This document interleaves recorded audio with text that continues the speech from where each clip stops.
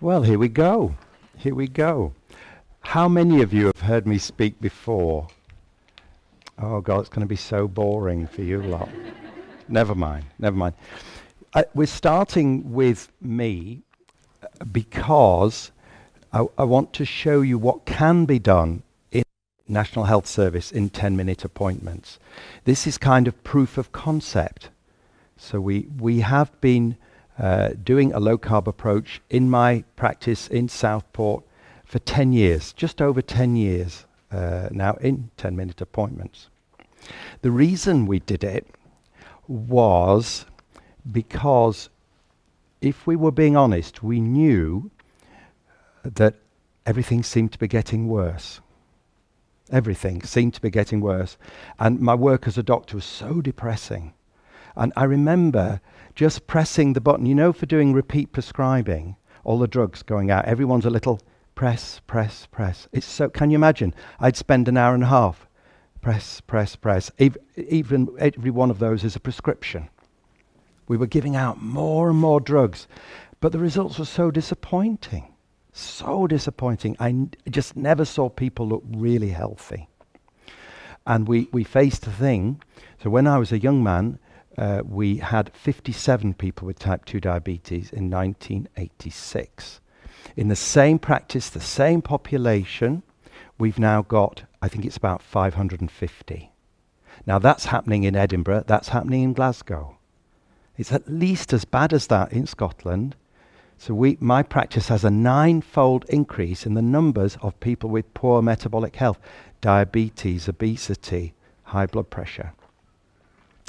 And it, was against that backdrop of despair that we thought, well, we're not going to wait till somebody tells us how to sort this. We're going to do something, anything that works. And this is kind of the story of, of that, how we went from uh, I was ready to retire, I was 55, uh, like all the GPs, I was going to go, and I'm still there now and they can't get rid of me. So something has changed. I'm loving medicine, absolutely. And now, uh, my favorite patients, uh, I love it when somebody, a new patient comes in and they've got poorly controlled type 2 diabetes. I'm actually excited because I know I can help, I can do something. That, whereas before they were my least favorite patients. And in fact, there was so much my least favorite patient. I was senior partner, so I got the junior partner, Dr. Simon Tobin. And I said, you know, I've been thinking about diabetes. It's a great thing for you to get your teeth into, which was just, I just offloaded it. I just thought, I'm not doing it anymore. And then, of course, I got all excited, and, I, now we do it jointly. So I, we're doing it jointly, but he's my boss now because uh, I'm not a partner anymore. I work for him, so I can devote myself to this. So I need to crack on because I get too chatty. That's who I am. That's fine. So we're going to talk about. Um, so I'm passionate about drug-free type 2 diabetes remission. How wonderful if people don't need drugs for their diabetes and can have good diabetic control. And we've been doing that in the practice, but also around the world. All sorts of other initiatives are going on all around the world. Uh, so it's it's really exciting to what predicts remission in in the population. What who are the people going to get it?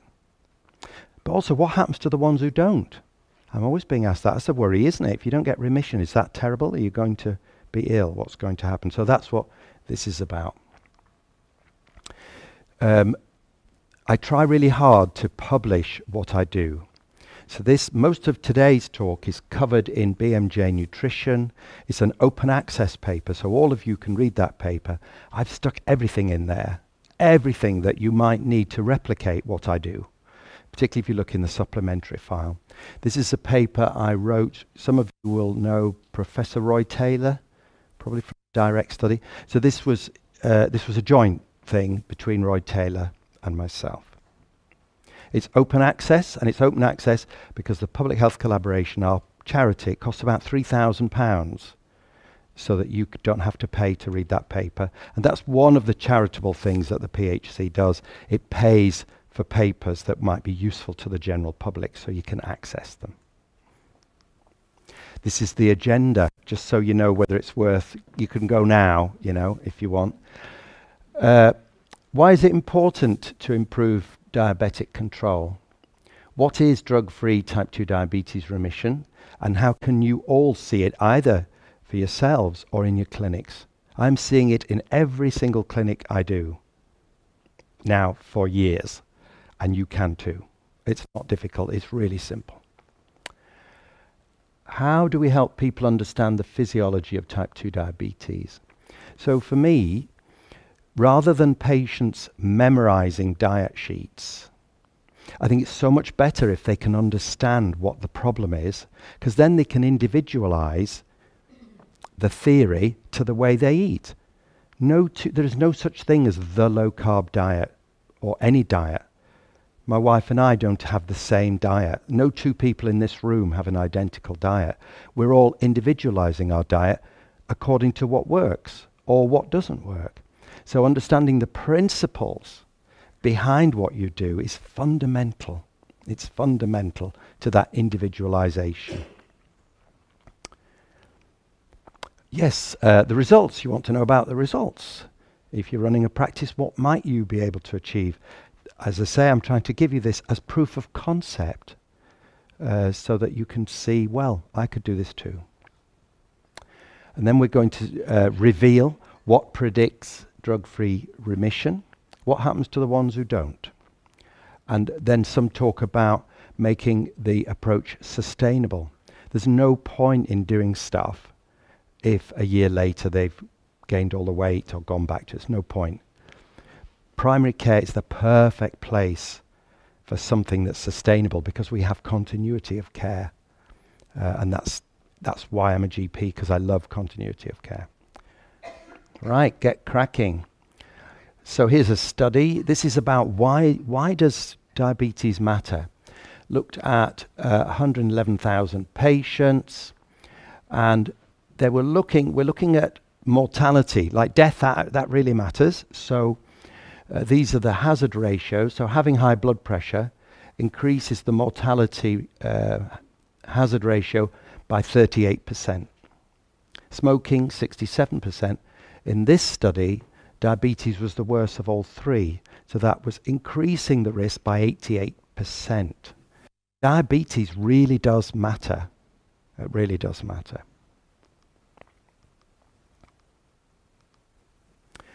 Um, we're going to talk about some of my patients. Each of them has consented uh, to this, and in fact, they're proud. So here's Dan. He's about 40. His hemoglobin A1C there is 95. Now, the hemoglobin A1C is the average sugariness of his blood. 95 to the clinicians in the room is sky high.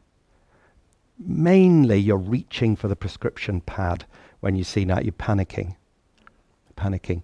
95, and he's young. Uh, you, he's got a bit of a weight problem there, and he has high blood pressure. He's on the maximum dosage of perindopril at 8 milligrams. So his metabolic health is generally wrong. And this is why it really matters. So this is from the uh, UK National Diabetes Audit and Office of National Statistics. For both type 1 diabetes and type 2, every year that you have a hemoglobin A1C of above 58, remember Dan was 90, you're losing a third of your life expectancy. That is terrifying. A third of your life expectancy. Blood pressure doesn't do anything like that. And this is a national figure. So we need to help Dan because he's young. So he's got a long time to be losing life expectancy. That's the, the reference for that. So uh, I don't know the data for Scotland, but in England, right at this moment, there are a million people with poorly controlled diabetes. This is how bad it is. A million people are losing a third of their life expectancy. It's just more than a third of everybody with diabetes. And I believe Scotland will be as bad. It may even be worse. I don't know. But the clinicians in the room will know. So, having sugary blood, I'm bringing sugar into the conversation as early as possible. So, we've talked about the hemoglobin A1C is the average sugariness of your blood. So, having sugary blood is bad for Dan. Now, uh, Dan, on that very day when he came to me, is interested in a drug free approach. But we need to set Dan's expectations. Is Dan going to, if he tries hard, is he going to get drug free remission or not? Because if we set expectations incorrectly and he fails, he'll just be disappointed. So it's the framing of people's expectations is quite important. So that's why predicting who will get re, uh, remission and who won't is clinically really interesting, because then we can give people the right kind of hope. Hooray! There you go. That that graph on angels in heaven are singing about that graph. Look at it. So what you've got there, the hemoglobin A1C sky high, 95. And rapidly, rapidly, his hemoglobin A1C drops. And he sustained it for several years. So that is drug-free type 2 diabetes remission for somebody. What, what a difference that's made. And just look at him now. He's transformed. He's so proud. He's not a patient at all. He's off his blood pressure medication. He doesn't take any medication. He doesn't see me very often. He comes to our groups, but he's not really a patient. I, I, I happened to see him last week. Uh, but he's just getting on with his life. And his life's different. He now believes in himself. I think as a younger doctor, I medicalized many people without realizing. So what I did was I, I said, you know, your diabetes is a problem. You're in danger. Uh, you need to take this medication for the rest of your life. And ethically, I worry about that now because what I just did was medicalize that person because they haven't got any idea that they can make a difference. You know, my mother just thought if she took the metformin, she could eat as many cakes as she wanted, or she'd take an extra metformin because she just thought, well, I'm taking my medication, so it doesn't matter what I do. And that's really common in patients. But that, that is my fault because I medicalized them and I didn't, my mother did not understand the difference that her diet made. But Dan understands.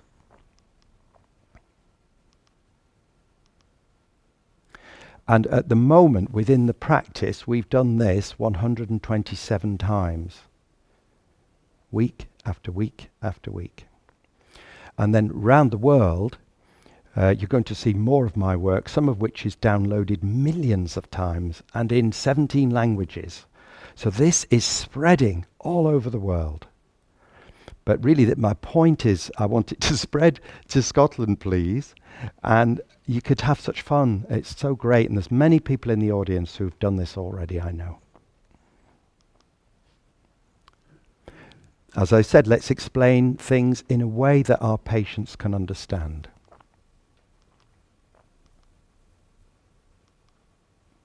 Few things. First of all, if we talk about the hemoglobin A1C as the measure, the average sugariness of your blood for the preceding three months, that gets any chat off to a sugary start, which is where it, I've only got 10 minutes, we've got to crack on. Sugary blood. Why does diabetes, what do people die of?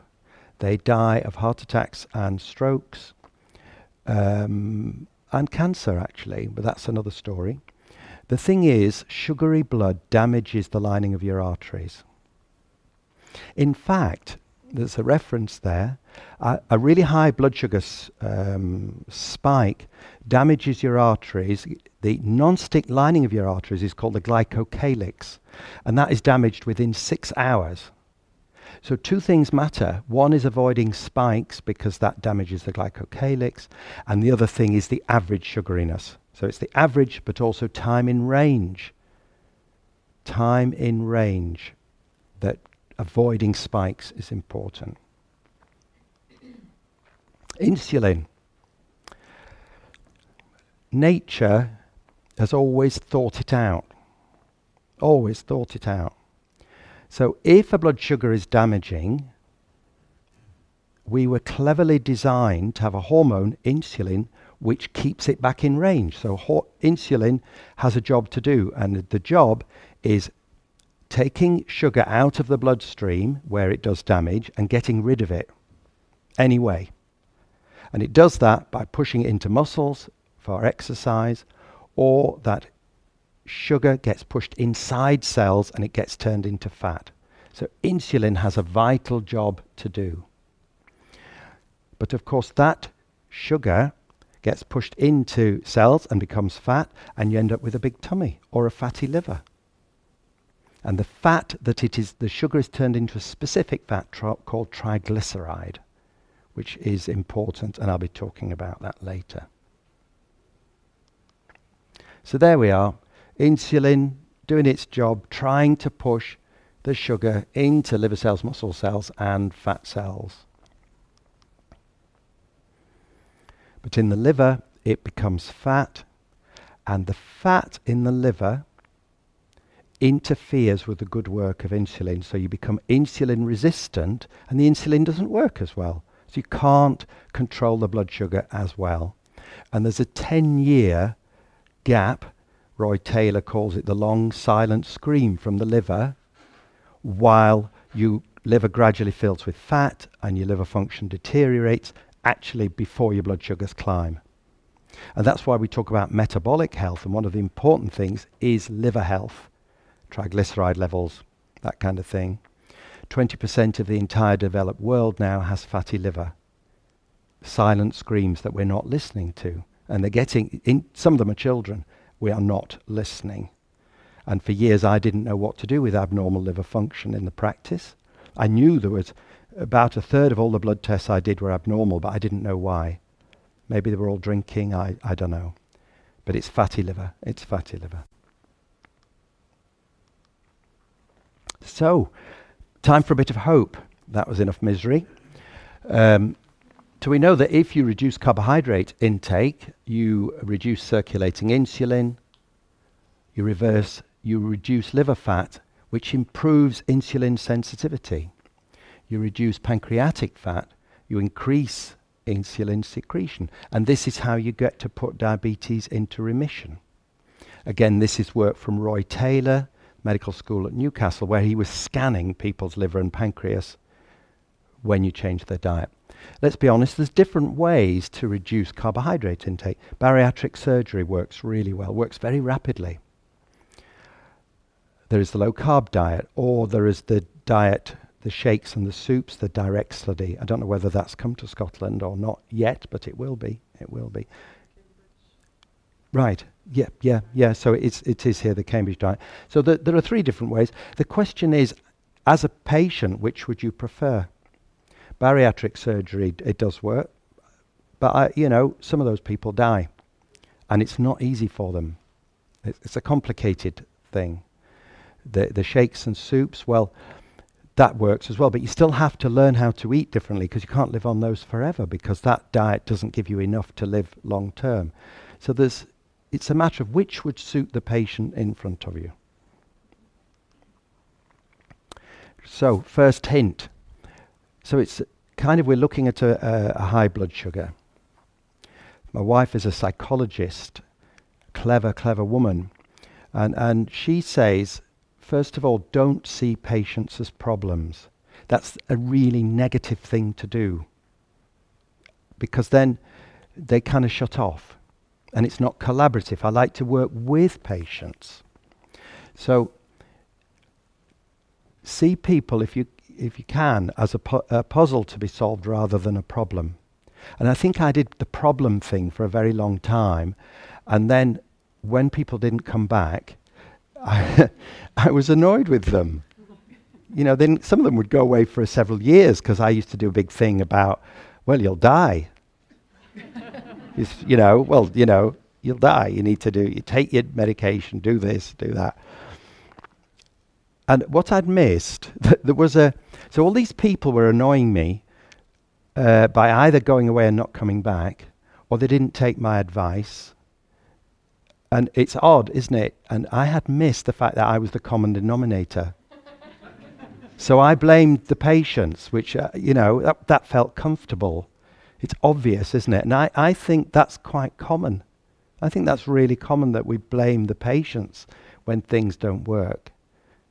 So if we keep doing the same thing and it doesn't work, we need to do something different. And I was very slow to wake up to that. I was 55 before I had my eureka moment. And I just did the same thing, com- just blamed the patients because they're lazy and they don't listen and that kind of thing. And what I've discovered now is they really do listen and they are interested in being healthy. They don't want to be ill, they just don't. Anyway, see, it really helps that conceptual change of the idea that this is an interesting puzzle. Take the emotion out of it. High blood sugars. So, what makes a high blood sugar? Well, it's what you ate. So, we talk on and on about exercise and so on, other things. Now, 95% of a high blood sugar is what you ate. And anybody with a freestyle Libre knows that that's mainly true. There are other things that put blood sugar up. So, um, stress does. COVID was terrible for this. Illness. And then there's the dawn phenomenon. So, some people with diabetes have a high blood sugar and they've not eaten anything. But that aside, mainly a lot of high blood sugars are what you ate. When you see that spike on a freestyle Libre, what did you just eat? and they've always just had a bowl of cornflakes or, you know, whatever. Questions are more powerful than statements. So you're saying to the patient, you're very, Dan, blimey, you're sugary. Where did that come from? Now, some people know, and that's clearly where they need to begin. Um, Dan didn't know, really. Uh, and that was because he'd missed out on uh, the starch molecule. And to be honest, I had missed out on the starch molecule because I, for, until I was 55, I never taught bread, breakfast cereals. It never, I just talked about sugar. Why? Why? I was asleep. What's going wrong? How did I never think of bread as sugar or rice? I don't know. Uh, but anyway, for Dan, uh, bread was kind of one of his major things and chips and I think rice and some of the things he drank.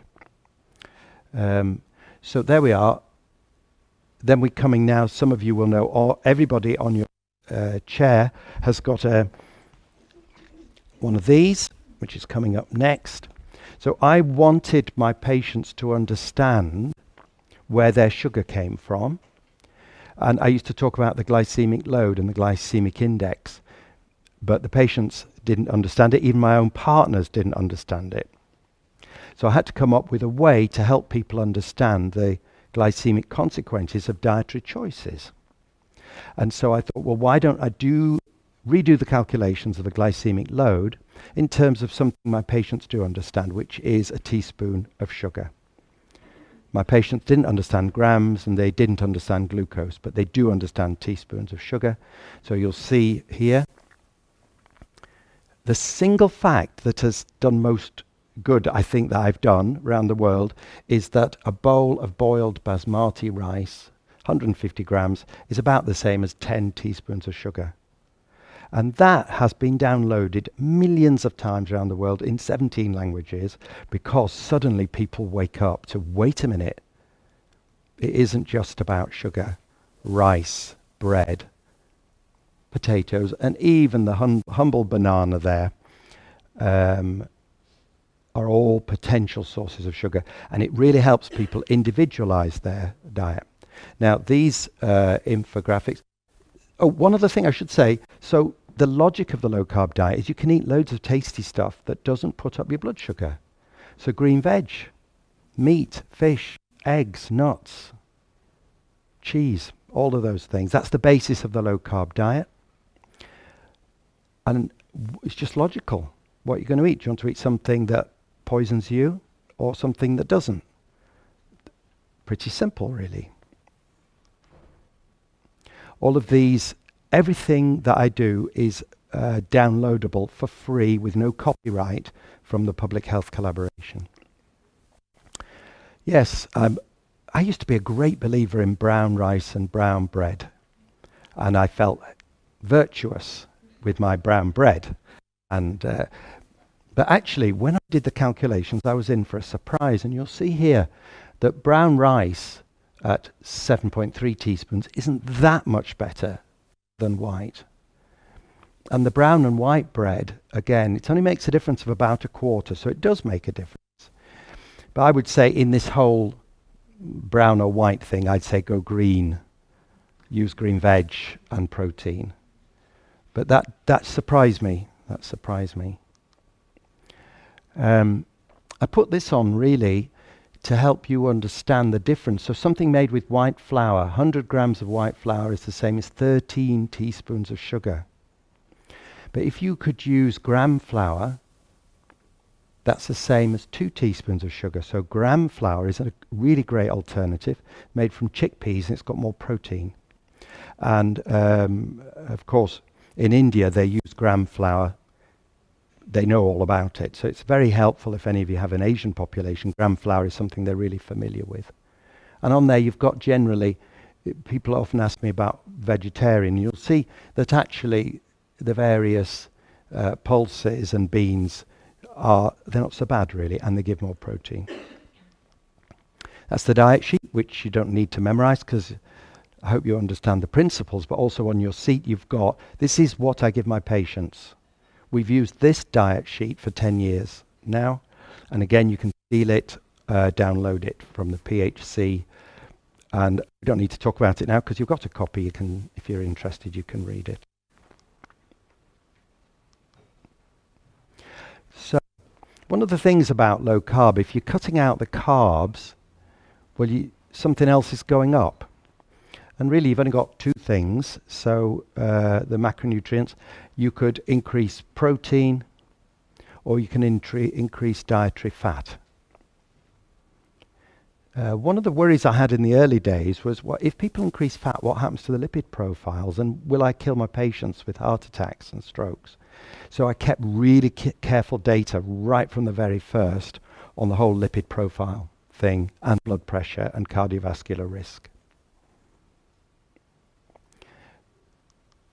And Roy Taylor did this. This is, uh, this is looking at cardiovascular risk, really. So, what makes up cardiovascular risk would be weight, hemoglobin A1C, triglyceride, blood pressure, cholesterol, and cholesterol HDL ratio. This is for 186 people in my practice who were low carb at this point for an average of 33 months, which is quite a long time. And it's great news because everything I measured improved significantly. So they they lost about weight. We've had some amazing weight losses. I've got one boy that's lost 12 stone in weight. I couldn't, in fact, we don't know what he has lost because he was too heavy to weigh at the beginning. We didn't have any anything that could weigh him. I had to do it uh, with a tape measure around his waist.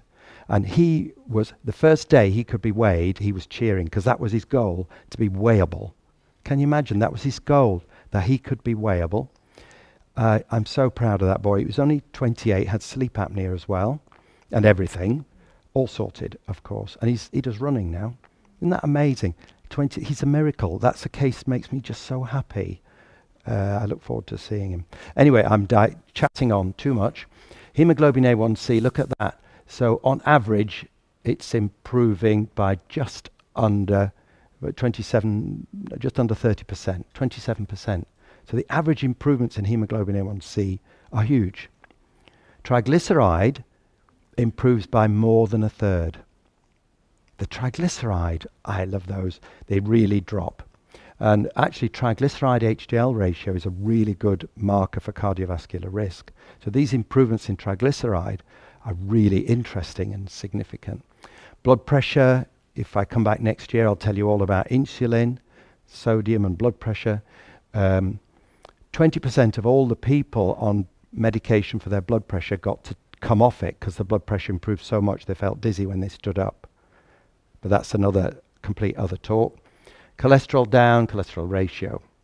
So it isn't just diabetes, cardiovascular risk, those are all the markers uh, that Roy Taylor could think about. Really significant improvements at nearly three years.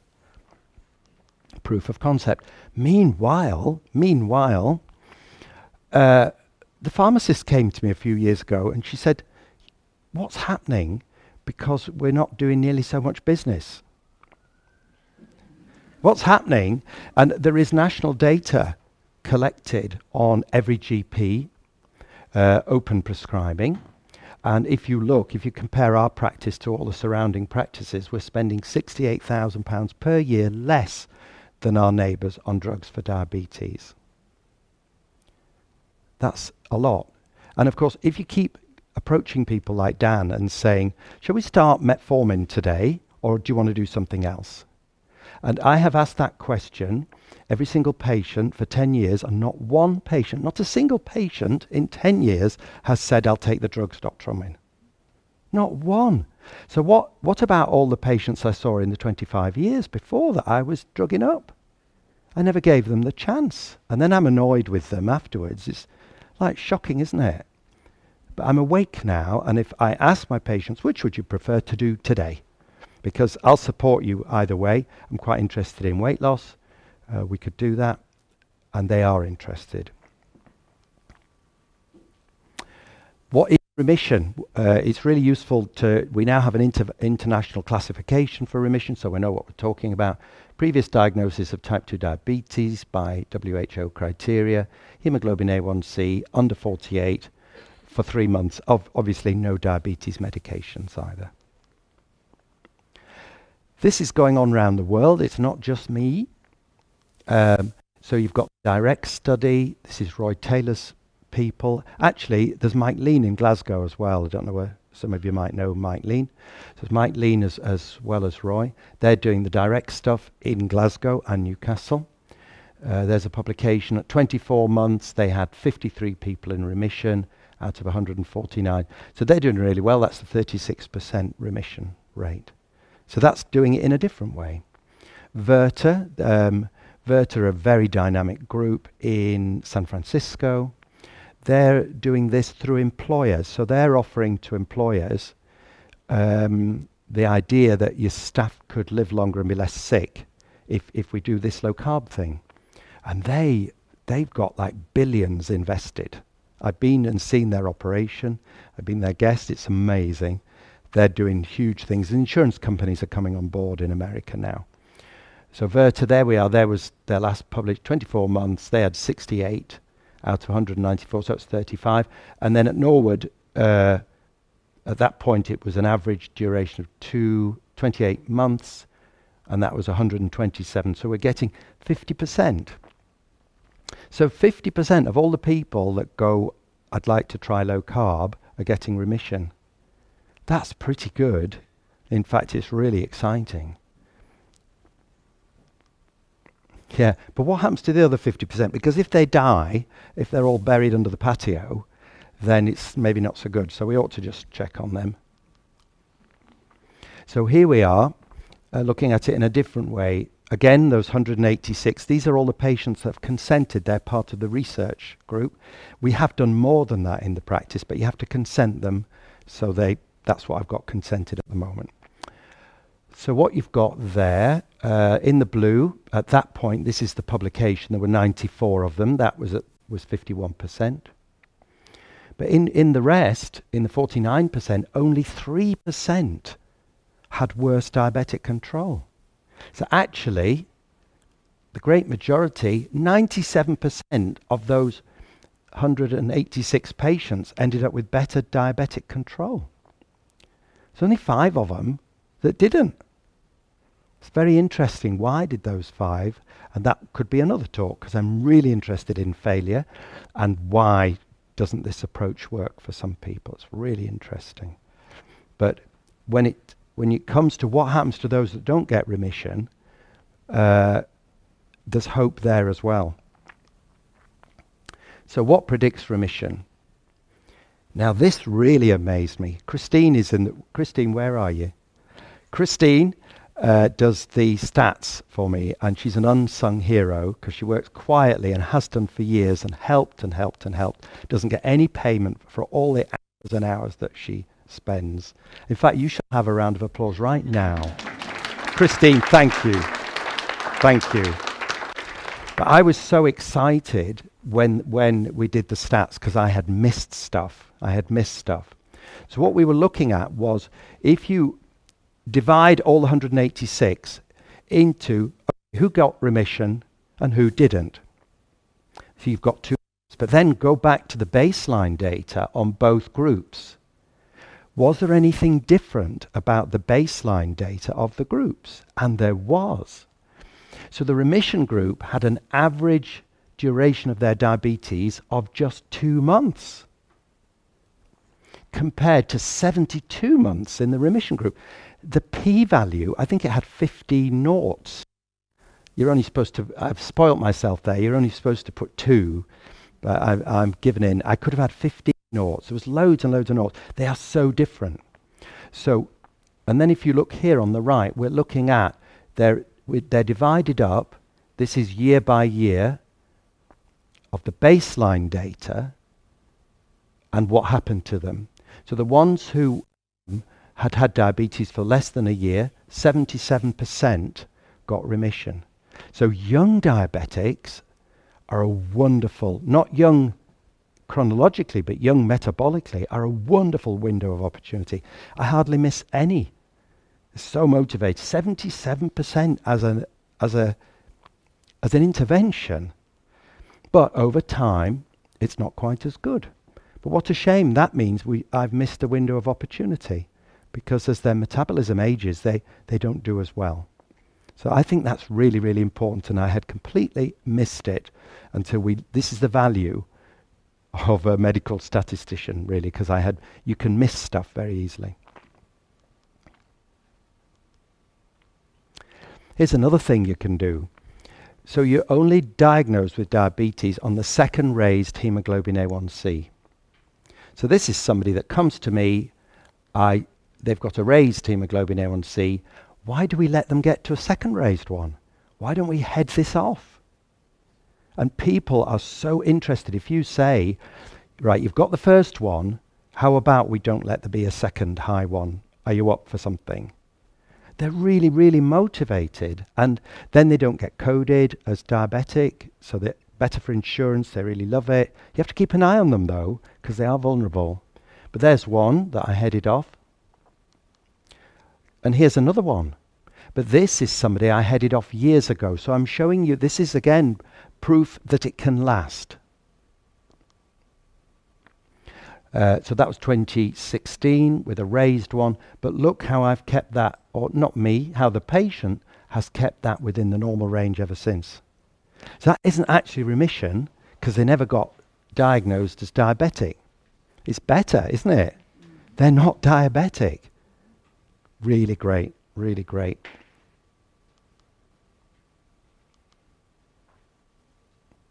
So, the really interesting question in clinical terms is how do we support this process of maintenance? Because it's absolutely key. Loads of people can lose weight. You've got to think personally and clinically how to support people's efforts over time. So we uh, and do it economically. So we run groups. So we, we for 10 years we've been running groups because it's cheaper. And it uses up the waiting room when the, in a Monday evening. And that's where the public health collaboration uh, ambassadors can come in because I've got one, Nicola, and she works, helps me for free because you can't really run a group by yourself. So groups are a great way to support people over time. And again, if I had longer, I could talk about that. It's, I was frightened of doing groups, but actually it's fun. And you get patient experts, and I don't have to solve everybody's problems. Other people will say, well, I do this, why don't you do that? Patients will help each other. Dan. So it's about this window of opportunity, but what happens to the others? So this is a second message of hope which is the what happens to the people with longer last longer established diabetes they're different too. So when we went back to the baseline data they have if you look at the this is the baseline there for the ones who get remission and this is the baseline for the ones who are not going to get remission. I think my battery is probably there.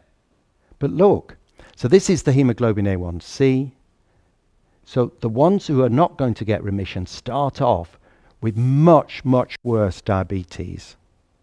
Which is kind of logical. So you can't be surprised when they don't. So going below this line is remission. So there is the remission group who are nearly all in remission under there. There is the ones who don't get remission, but their average improvement in hemoglobin A1C is greater. So here was a second lovely surprise that yes, the non mitigation, sorry, the non remission group don't get remission clearly by definition, but they get a better improvement in their diabetes in terms of hemoglobin A1C than the remission group.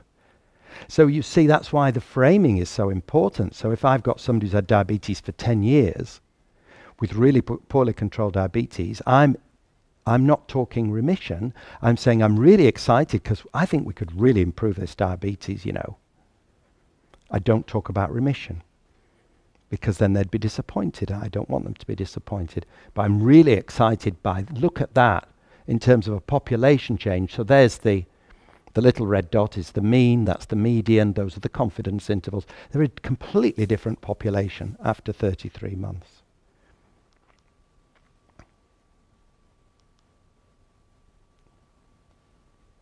So mitigation matters.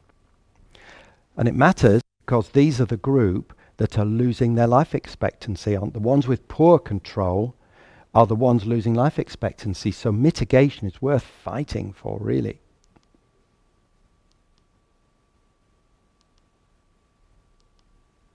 Another patient, Marcia. Here's Marcia. Uh, again, consented. Age 52, she weighs about 100 kilos. She's been on a high dose of insulin since 2004 three injections a day. So uh, she walks with a stick, she has chronic pain, her life's very difficult. She, of course, has high blood pressure. The clinicians in this room, you've all got people like Marcia. You recognize her. Uh, she's struggling. She takes a long time to get into your room from the waiting room because coming along the corridor takes her ages. And her life is hard really hard. And for her, diabetes, her experience of diabetes is that it's a chronic, deteriorating downward trajectory. So she's a bit depressed. And no wonder. But there's Marcia now. That's mitigation for you. No stick. Been off insulin for two years. So she was on insulin all those years for no reason, wasn't she? Because she doesn't need it now and she's older. So whoever put Marcia on insulin was well meaning, but years later she's been off it for two years. And of course, she, her blood pressure sorted out and uh, she's not taking medication. Now, the reason her hemoglobin A1C is actually 47, but she still takes um, a metformin about alternate days. So she hasn't got remission, but she doesn't care what we call it. She's taking metformin, well, that's, that's fine. She's astonished to be off insulin. What happened with Marcy was interesting. Uh, English isn't her first language. She's from Brazil. And I think we had all underestimated her intelligence. I think that's what had happened. And actually, once she understood what I was telling you earlier on about insulin, she just knew what to do. She just hadn't got the model in her mind. And in Brazil, they eat a lot of meat, apparently. So her, um, her culture, she knew what to eat.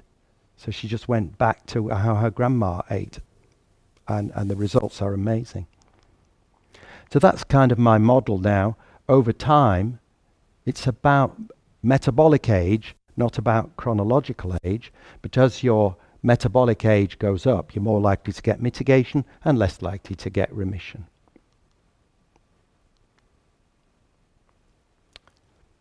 Oh, yes, triglycerides.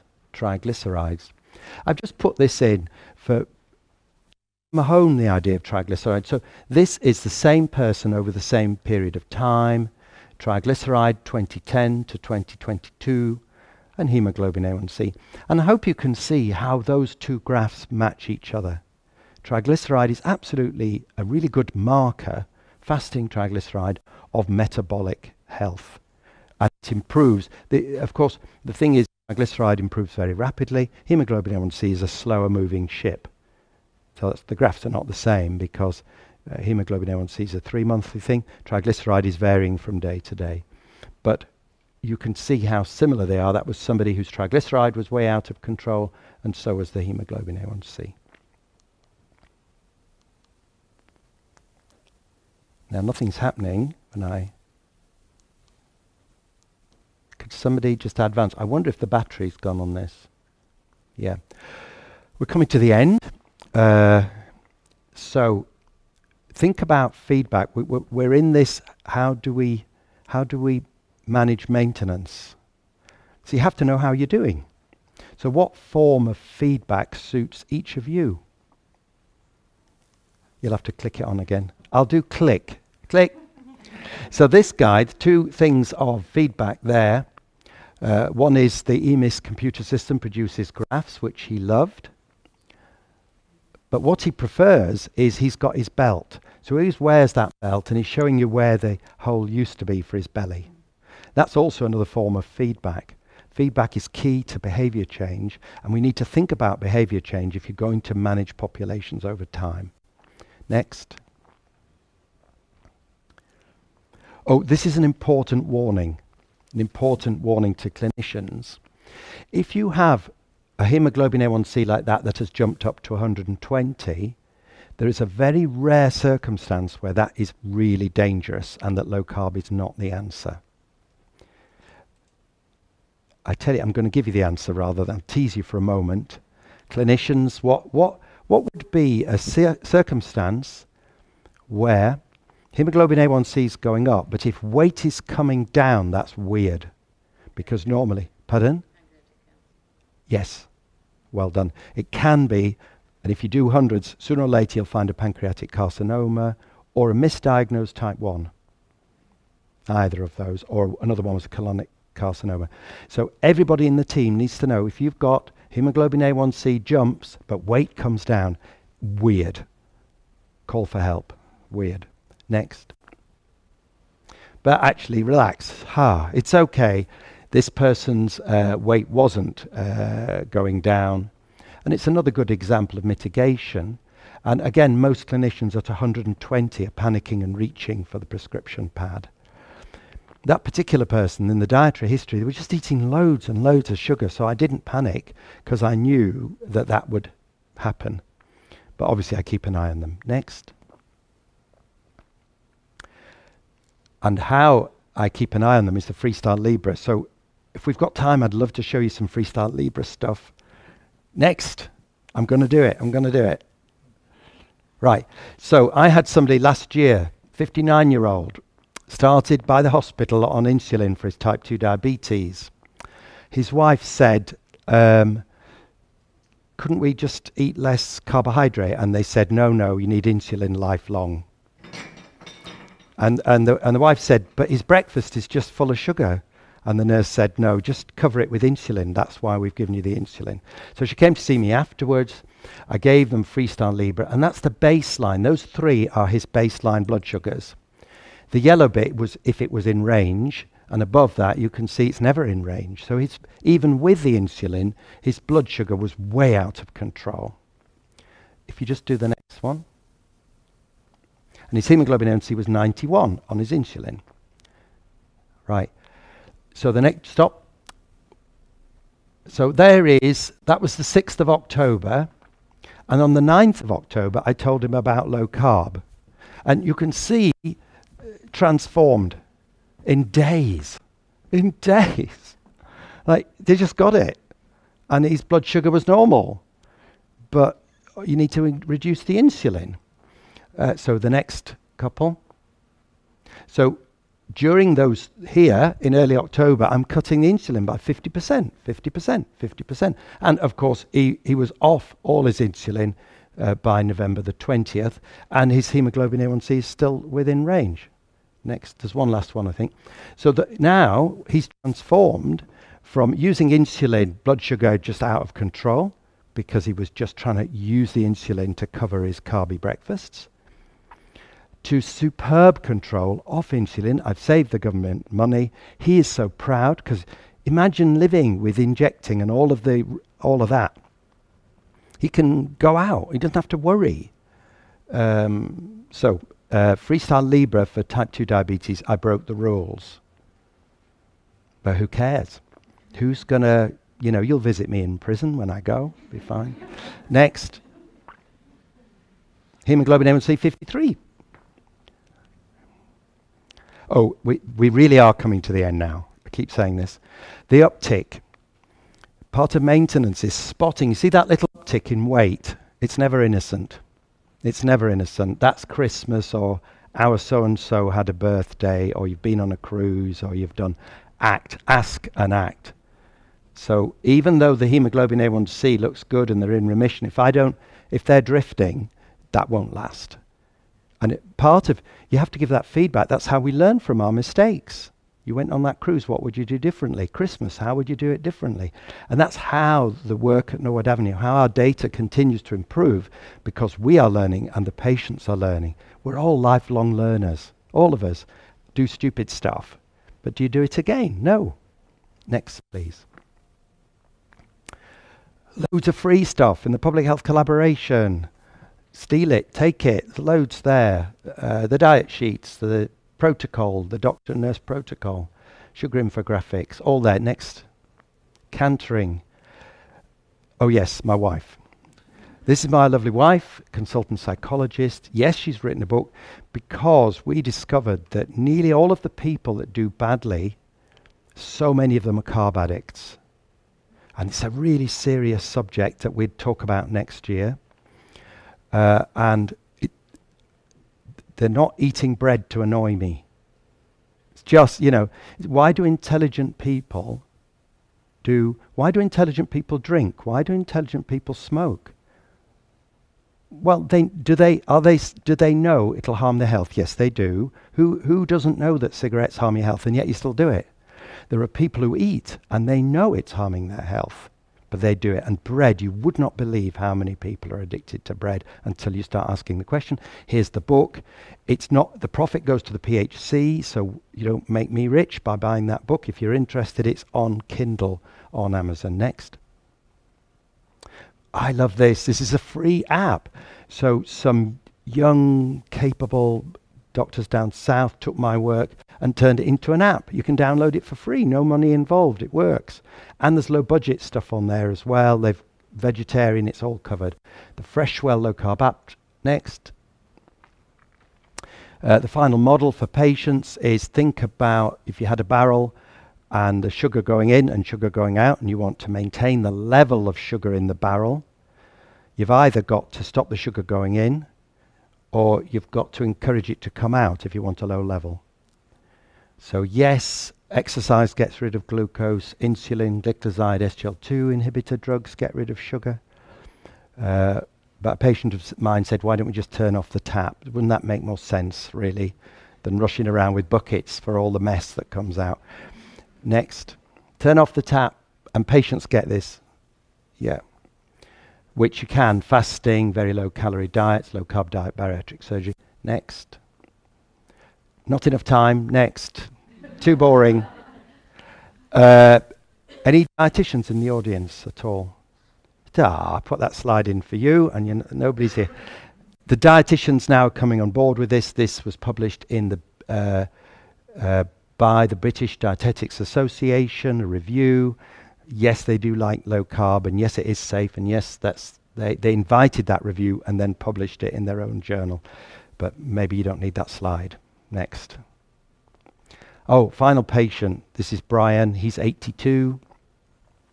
I'm holding the tape measure where his belly used to be, and he was on insulin. So it's great for old people too. And the drugs aren't so safe for old people. So dietary, and they're all, old people are organized. They're, they're organized and they know how to cook and they've got the time. So again, Brian's another one who was on blood pressure medication, of course, and he's off the insulin and off his BP's fine, and he's joined a gym. And there you've come to the end. Well done. Congratulations. There we are. Thank you. Thank you.